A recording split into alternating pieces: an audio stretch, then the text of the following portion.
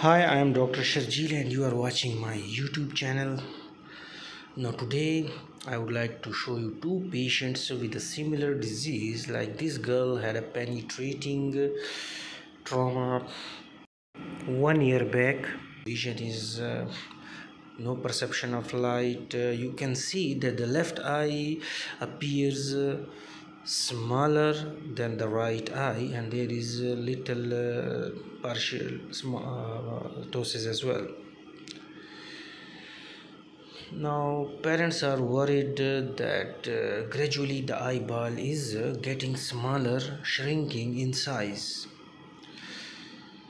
So and you can also see cataract in the left eye you can see the white pupil the right eye is totally normal but the white pupil in the left eye. So i diagnosed her as a case of uh, first case of phthisis bulbi now what is phthisis bulbi it is atrophic shrinkage and disorganization of the eye and intraocular contents.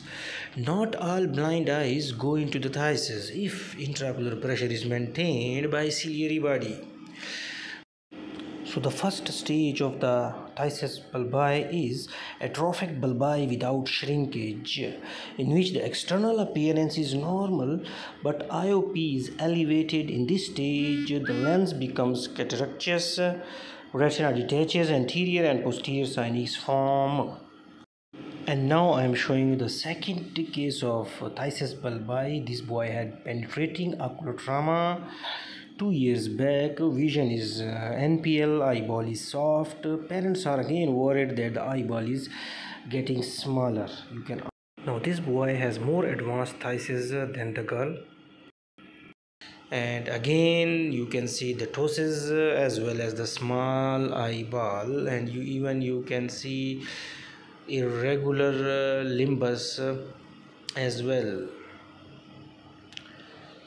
so the pseudoptosis occurs because the upper lid rests on the eyeball. So as eyeball becomes smaller the lid resting position becomes down.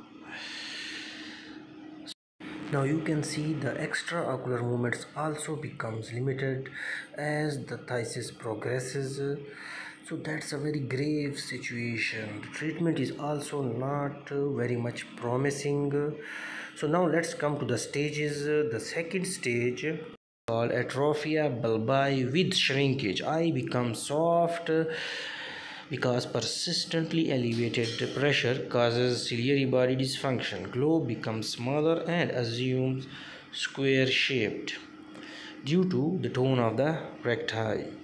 Cornea becomes vascularized and opacified. Then the last stage is phthisis bulbi.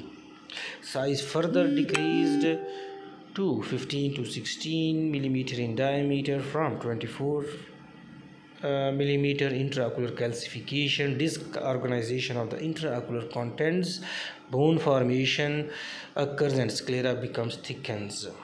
Now the treatment options are silicone oil insertion, evisceration with ball implant, cosmetic, prosthetic shell.